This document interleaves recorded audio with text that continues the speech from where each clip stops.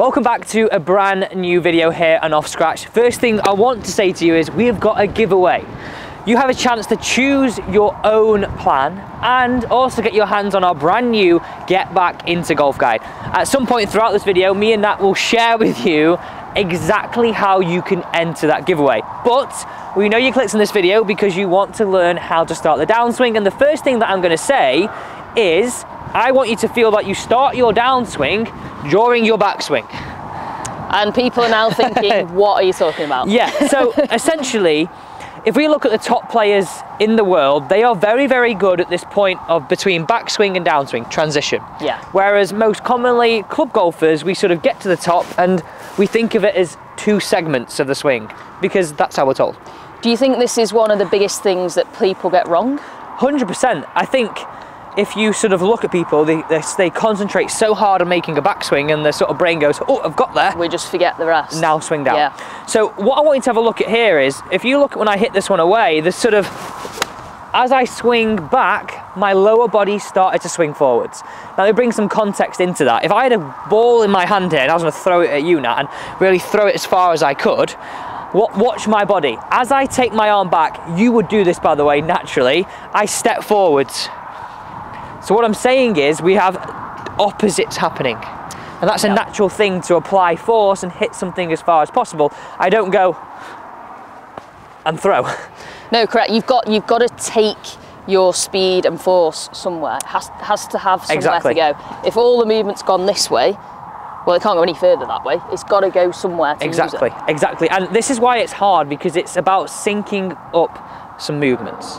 So what I'm going to show you here is that if I just sort of take a little bit more of this space up here, I don't want to hit yep, you. Don't hit me in the face like you nearly did. nearly did off camera before.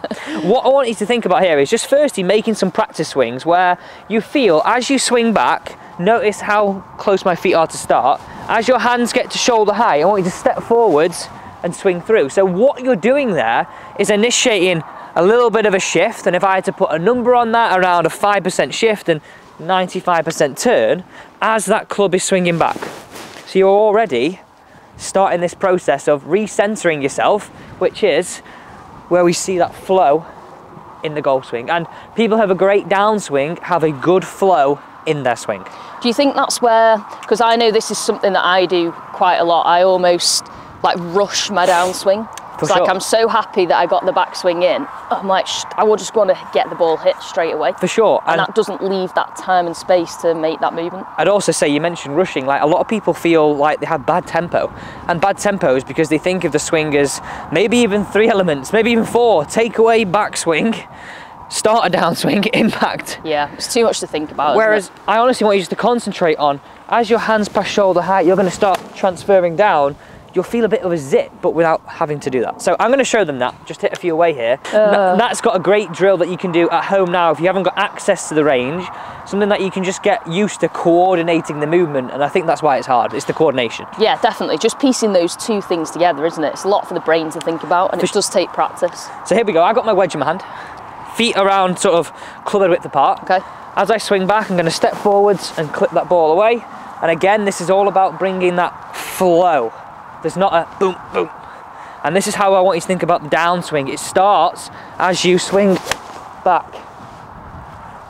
And you'll be surprised actually how it doesn't now become a hit at the ball and to the ball. It becomes a hit through the ball because there's tempo and there's that transition.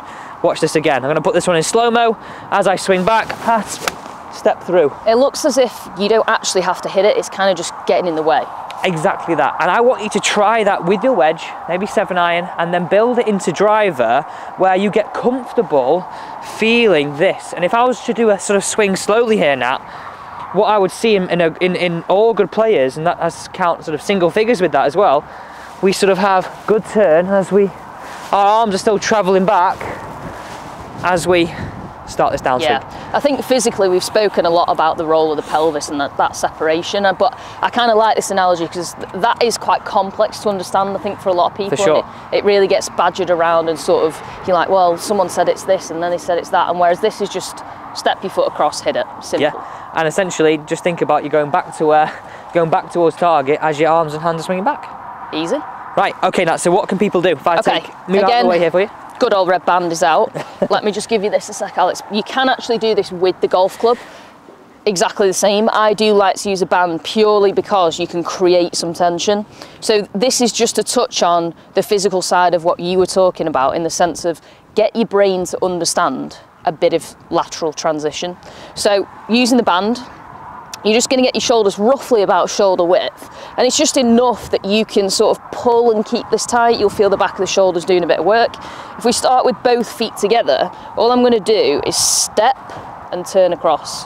So I'm rotating all my lower body the same that I would do in a swing. And I'm just keeping this width and tension pulled out here so you can start to put a bit of speed into it. So as the foot hits the ground, you rotate at the same and time. And I noticed Nat's doing this really, probably do without even thinking. You're rotating back and you're starting to step as that's turning that way. Yeah, exactly. So it's it's like the foot is off, it lands, and you turn.